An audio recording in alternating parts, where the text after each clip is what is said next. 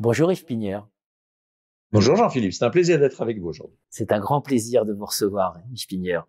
Yves Pigneur, vous êtes professeur à l'Université de Lausanne. Vous êtes l'un des pères du business model Canva, qui est connu, enseigné partout dans le monde.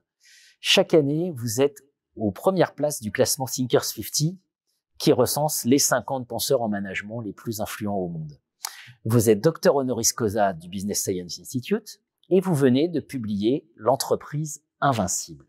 Donc la question est évidente. Yves Pigneur, un DBA, ça permet de devenir invincible? L'analogie fait beaucoup de sens.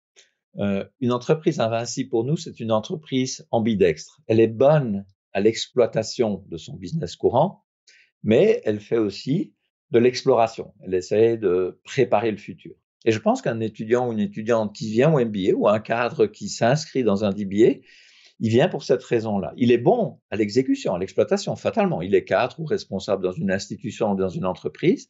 Et il vient pour chercher les moyens d'explorer de nouvelles pistes, d'explorer de nouvelles idées, d'explorer de nouvelles possibilités de carrière peut-être pour lui. Alors, vous êtes, vous êtes voilà, un des spécialistes de l'impact. Vous proposez toujours des choses très concrètes, des dessins, des analogies, etc. Dans l'ouvrage L'entreprise invincible, vous évoquez la nécessité de se réinventer en permanence, se battre sur des business models supérieurs, transcender les frontières établies entre industries. À nouveau, est-ce qu'on peut poursuivre cette analogie avec le DBA Je pense qu'on peut la poursuivre. On pourrait dire que un ou une personne qui fait un DBA, qui s'inscrit dans le DBA, est en train de se réinventer, ou il vient pour se réinventer, pour réinventer des pistes de carrière. Deuxièmement, contrairement peut-être à une formation plus conventionnelle, un BA ou très technique, on vient dans un DBA pour reconstruire son cadre de pensée. C'est plus général que d'aller chercher juste une compétence. Et troisièmement, transcender les frontières n'a pas beaucoup de sens, mais en tout cas, on sort de sa zone, de, on est prêt à sortir de sa zone habituelle de travail pour peut-être se réinventer dans un autre métier, dans une autre fonction. Donc je pense que l'analogie avec les trois caractéristiques que vous avez mentionnées, elle fait du sens. Mmh. Alors c'est pas toujours facile hein, de sortir de sa zone de confort quand même. Hein.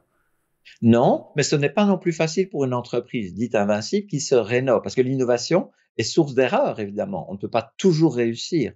Et donc, vraisemblablement, dans le cas d'un étudiant ou une étudiante euh, d'IBA, eh ben, il va y avoir des erreurs. C'est le propre de la recherche, de se tromper de temps en temps, de changer d'hypothèse de travail. Et donc, ça fait partie du jeu, je pense, de se réinventer. Un, point essentiel, Yves Pigneur, c'est aussi la valeur de la rencontre. C'est-à-dire qu'un DBA se déroule sur, sur plusieurs années.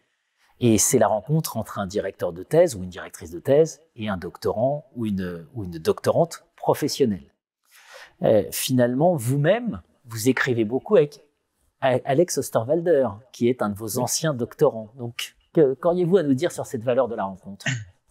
Je pense que c'est la plus belle chose dans un doctorat. C'est ce tandem qui va se construire et cette connivence qui va se construire entre le directeur ou la directrice de thèse et le ou la candidate au DBA. Et euh, je prendrai l'analogie d'un guide de montagne. Au début, le guide, il monte le chemin, il évite les pièges, mais dans la paroi, ils sont tous les deux reliés à la même corde. Parfois c'est l'un qui assure, parfois c'est l'autre.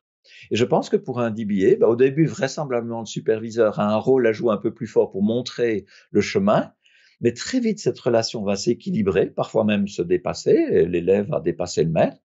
Et avec Alex, nous avons euh, commencé à travailler d'abord sur le doctorat, et puis quatre ans seulement après, on s'est dit, tiens, on pourrait écrire un livre pour reconstruire, entre guillemets, une version beaucoup plus euh, pratique euh, de ça. Et je pense que c'est un chemin assez logique pour ce tandem qui se construit, qui se développe dans le temps.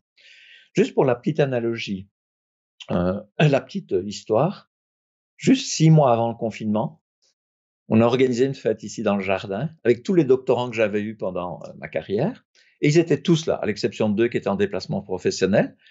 Donc, ce que je veux dire, c'est que cette connivence qui se développe pendant quatre ans, euh, elle l'amène aussi souvent une relation très forte entre nous et une amitié. Avec Alex, ça fait 20 ans maintenant qu'on travaille ensemble. On habite dans la même rue, on se voit pratiquement euh, tous les trois, quatre jours. Et je pense que ça, c'est vraiment le beau côté des choses. Et je vous le souhaite à tous. Cette construction, pour moi, elle est fabuleuse. Un dix billets pour devenir invincible. Merci Yves Pignère. Merci Jean-Philippe. Thank you.